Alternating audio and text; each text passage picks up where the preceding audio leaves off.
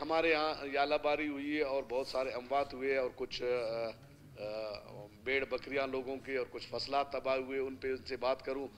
تو انہوں نے کہا کہ جی ڈی جی صاحب نماز پڑھ رہا ہے۔ تو میں نے دس پندرہ منٹ کے بعد پھر پھر فون کیا، کہتا ہے نماز پڑھ رہا ہے۔ پھر آدھے گھنٹے کے بعد فون کیا، کہتا ہے نماز پڑھ رہا ہے۔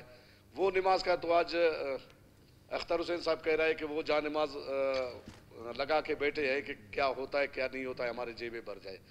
اس دفعہ انہوں نے عالم تو یہ ہے کہ سننے میں یہ آیا کہ زیارت میں جو برف باری ہوئی تھی یا اس سائڈ پہ، تو پی ڈی ایم اے والوں نے ایک سولر پلیٹ کے ساتھ ایک پنکھا بھی ان کے لیے روانہ کیا گیا ہے۔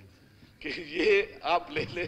تو یہ چیزیں پی ڈی ایم اے کا، پی ڈی ایم اے کے کس، کن کن چیزوں کو وہ کریں گے؟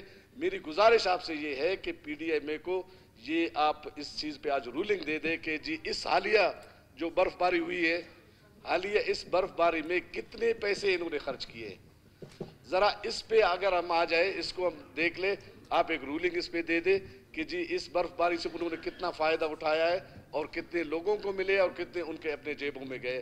میرے خیال میں آج اسی شرمندگی کی وجہ سے نہ ان کا وزیر یہاں پہ موجود ہے، نہ ان کا ڈی جی موجود ہے، نہ ان کا کوئی ذمہ دار موجود ہے۔ تو یہ چیزیں میرے خیال میں اس پہ ذرا رولنگ آپ دے دیں کہ اس دفعہ میرے خیال میں کوئی اربوں روپے نکلے ہیں۔ ذرا ان پہ بھی دیکھیں کہ بلوچستان کے ساتھ جو لوٹ کا سوٹ ہو رہا ہے، وہ کیا ہے؟